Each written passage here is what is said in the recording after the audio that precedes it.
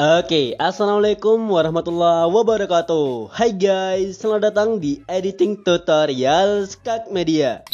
Oke, jadi guys, di video kali ini aku bakal bikin sebuah POV jeda jeduk full beat lagi dengan menggunakan sound yang sekarang lagi viral, yang katanya meresahkan nih. nah, jadi guys, untuk membuat jeda jeduk kali ini, aku pakai sekitar dua gambar aja. Kemudian juga ada beberapa mentahan efek yang harus kalian download di kolom komentar di bawah video ini. Jadi kalian bisa cek aja. Kemudian untuk aplikasinya aku gunakan dua aplikasi aja yaitu aplikasi Funimate dan aplikasi VN Vlog Now Video Editor. Dan gak usah lama-lama lagi untuk hasil editannya seperti berikut ini guys.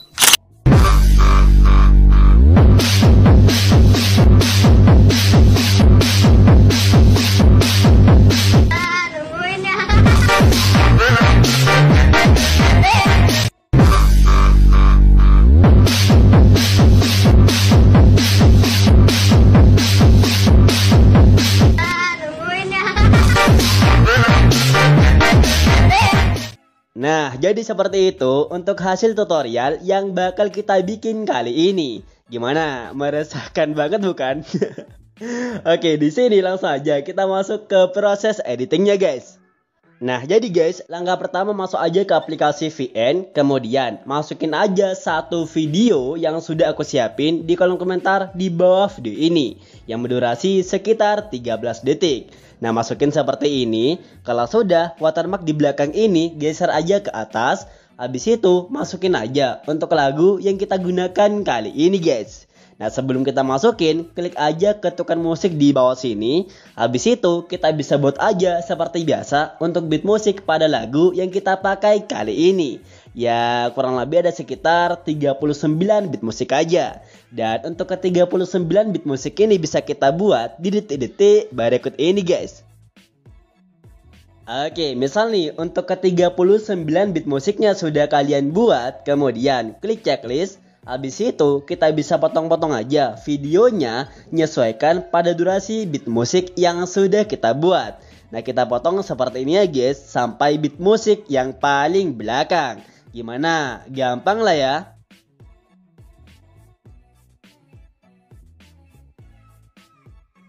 Nah, kalau sudah kita potong-potong videonya, kemudian klik aja, geser-geser aja, dan klik aja beat musik yang berada di nomor urut yang ke-27. Nah, di beat musik yang ke-27 ini, kita bisa tambahkan aja lapisan text effect yang sudah kalian download. Yang kalau aja kita masukin tampilannya bakalan seperti ini guys. Nah jadi di sini besarin ukurannya, paskan pada background videonya. Nah kalau sudah pas, kemudian kita bisa masuk aja ke aplikasi Funimate-nya. Dan di aplikasi Funimate ini guys, klik icon plus di bawah sini, klik edit video, habis itu masukin aja satu gambar yang kita gunakan. Nah, klik lanjut di bagian sini. Habis itu, untuk durasinya, atur aja ke durasi waktu 2.2 seperti ini ya guys. Nah, kayak gini. Kalau sudah, kemudian masuk aja ke bagian animasi. Pilih bagian yang goyang. Habis itu, pakai aja animasi yang zigzag seperti ini guys. Oke, kalau sudah keluar, masuk ke bagian keseluruhan. Habis itu, pakai yang di start live seperti ini guys. Nah, kalau sudah, kemudian kita bisa simpan dulu untuk video ini.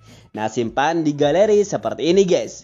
Kalau sudah kita simpan, kemudian keluar dan klik project yang barusan kita bikin, klik edit project. Habis itu kita bisa masuk aja ke bagian animasi, pilih bagian yang goyang. Habis itu kembalikan aja animasinya atau matikan aja animasinya dengan cara klik icon di bagian sini guys. Nah kalau sudah, pilih aja animasi yang plus. Nah kalau sudah kita pakai animasinya, keluar dan masuk aja ke bagian keseluruhan. Habis itu, matikan aja untuk efek animasinya. Nah kalau sudah, pada durasinya ini, atur aja guys ke durasi waktu 0.3 guys. Nah kayak gini, kalau sudah kemudian kita bisa simpan lagi untuk video ini guys. Nah simpan di galeri seperti ini. Kalau sudah keluar, klik project yang barusan kita bikin, klik edit project. Habis itu kita bisa atur aja durasi ini ke durasi waktu 0.4 seperti ini guys. Nah kayak gini, kalau sudah masuk lagi ke bagian animasi, pilih bagian yang outro, habis itu pakai aja yang flash beat seperti ini. Nah kalau sudah kita pakai kemudian keluar dan ganti aja gambar ini ke gambar kedua yang kita gunakan guys. Nah ganti seperti ini. Kalau sudah kita ganti kemudian simpan lagi untuk video ini. Simpan di galeri seperti ini. Nah kalau sudah kita simpan masuk lagi ke aplikasi VN-nya Nah, habis itu pada potongan video yang pertama ini kita bisa ganti aja videonya ke video yang pertama yang tadi sudah kita simpan di aplikasi Funimate. Video yang pertamanya ya guys yang durasinya 2.2. Nah video ini kalau sudah kita ganti kemudian pada potongan video di sampingnya ini atau potongan video yang kedua kita bisa ganti aja videonya ke video yang kedua yang tadi sudah kita simpan di aplikasi Funimate. Nah ganti seperti ini ya guys. Kalau sedikit kita ganti pada potongan video di sampingnya ini juga sama ya guys. Kita bisa ganti aja potongan videonya ke video yang kedua yang tadi sudah kita simpan di aplikasi Funimate. Nah kalau sudah potongan video di sampingnya ini juga sama. Ganti ke potongan video yang kedua yang tadi sudah kita simpan. Nah, jadi guys, seterusnya lakukan seperti ini. Kita bisa ganti aja potongan video-video berikutnya ke video yang kedua yang tadi sudah kita simpan. Kita bisa ganti sampai nanti aku bilang berhenti. Nah, kita berhenti di bagian sini ya guys, di bagian saat akan mau masuk pada lapisan videonya ini. Nah jadi di sini geser aja sedikit ke kanan. Habis itu pada potongan video ini sampai potongan video yang paling belakang. Nah di bagian sini kita bisa ganti aja videonya ke video yang terakhir atau video yang ketiga yang tadi sudah kita simpan di aplikasi Funimate. Nah ganti seperti ini untuk video yang ketiganya di setiap potongan-potongan video ini sampai potongan video yang paling belakang ya guys. Gimana? Gampang lah ya.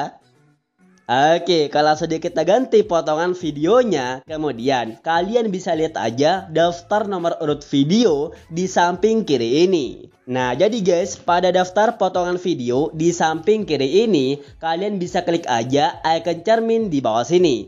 Jadi kita bisa masuk aja ke tiap-tiap potongan videonya, lalu klik aja bagian cermin di bawah sini. Dan caranya kayak gini guys, kita bisa geser-geser aja dan arahkan aja ke potongan video yang ketiga di bagian sini. Nah kalau sudah di potongan video yang ketiga, klik aja icon cermin di bawah sini guys. Nah, kalau sudah, geser-geser lagi ke potongan video yang berada di nomor urut yang ke-6.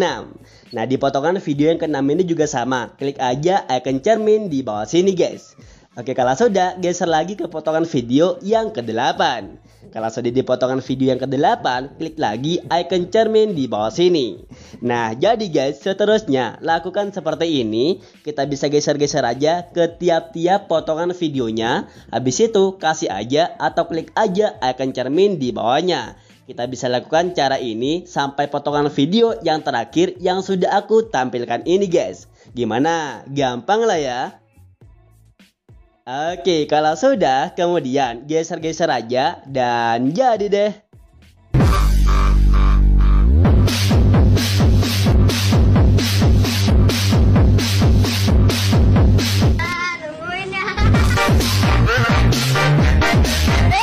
Nah, jadi kayak gini untuk hasil tutorial yang kita bikin kali ini guys. Gimana? Simpel banget, gampang banget, mudah banget bukan? Oke kalau sudah, kemudian kita bisa simpan aja untuk video ini. Nah mungkin cukup sekian untuk video kali ini. Semoga video tutorial kali ini bermanfaat bagi kalian semua. Dan jangan lupa seperti biasa, silahkan like jika kalian suka dengan video ini. Dislike aja kalau suka. Dan kita bakal ketemu lagi di video berikutnya guys. Thank you guys.